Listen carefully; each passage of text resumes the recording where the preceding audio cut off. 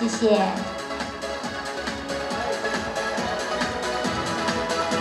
好，中间也要再次感谢今天现场所有的贵宾朋友。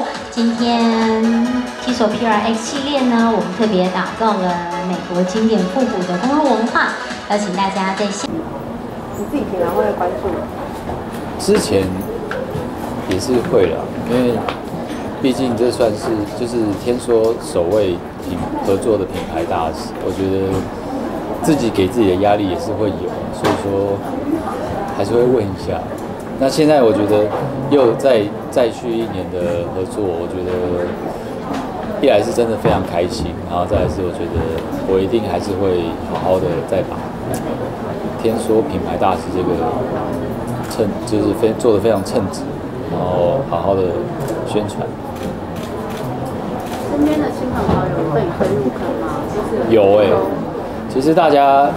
我自己的朋友蛮多，就是看到看到我就是代言，然后也都会一来可能也是我在讲是支持我啊，然后再来他们自己都觉得，就是因为这个表款真的是一个蛮好入手，然后也是很好搭配的表款，所以其实大家给我的就是评价跟回馈都还蛮棒。所以刚才说会帮家燕挑一支表，你知道他喜欢什么颜色吗？我记得他之前有说过，他也是想要一只金表。我会跟他聊一下，就是从他的再探听一下，就是到底喜欢什么颜色这样。但我觉得，因为这一次有出了一款，就是在更小一点表面的尺寸，我觉得蛮适合女生，蛮适合女生。所以你现在有的天梭表会跟他一起，他会戴吗？你们会一起戴？他不会，因为其实我我戴的都还算是比较。表面比较稍微大一点点，然后比较比较男性一点。对他他喜欢的东西，虽然有时候会偏男生，可是还是会比较要适合一点，对他的风格。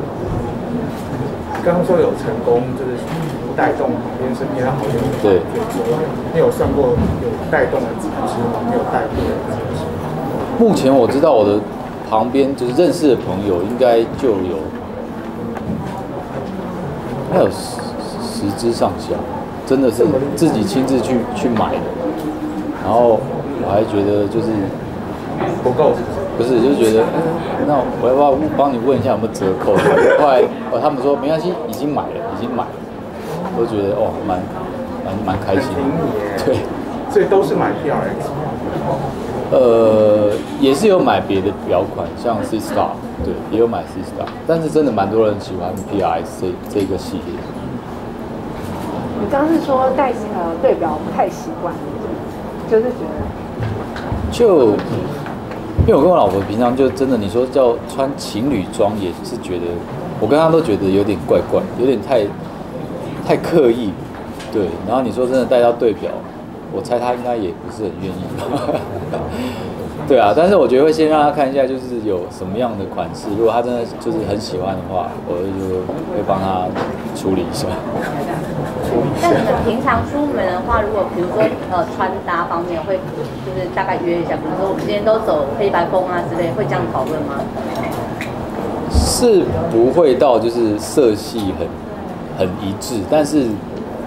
风格是不会变到哪里去，就是，但是不不是说要讲好，就是可能会稍微通通常都是我先穿搭好，然后他就会这样看一下，然后他就进去，然后就是穿他的，对，所以我要先有一个风格出来，然后他才会跟着一起这样，对。那他会说，哎，我觉得你今天这样不太 OK，可以换一下，因为他可能有自己想要的风格。有时候，对，有时候他就还会问我说，那。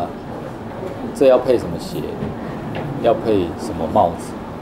就是我已经很习惯这些问题，然后就会一起帮他做做搭配。你给的意见比较多，还是老婆给你的意见比较多？就是通常，通常，因为他有时候会比较就是很烦恼，就是今天又要穿什么这样，然后可能就会说哦，那你。前几天买那个裙子不错啊，你就是先搭配那个裙子，然后再再去做其他的这样整体性的搭配这样。对，我会先给他一些想法，对。好老公。不然会出不了门，哦，是是。所以大约会花多久出出门前？不好说。最久就到多久？一两个小时。就会提早开始准备了，对啊，平常都习惯提早。会会会，就是我会稍微控管一下时间，然后就会赶快替他做一些决定，这样。